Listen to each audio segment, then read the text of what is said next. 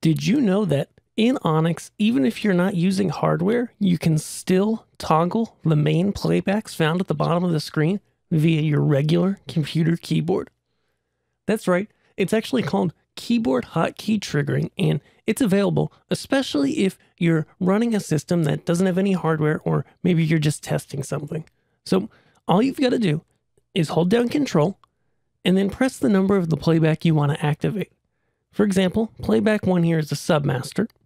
I can press control and press one. And as I do that, I can see that it comes on to full. Now I'll go to a regular cue list such as 10 here, which will be triggered with the zero. So it's one through nine and then zero is 10, just as it's laid out on your keyboard.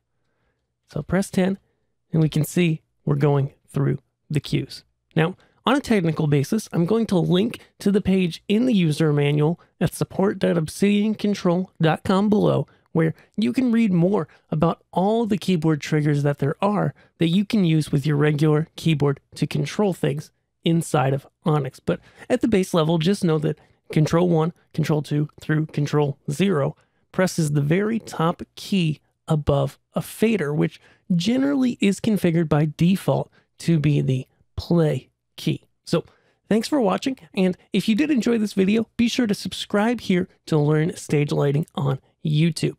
I'll see you guys around. Thanks.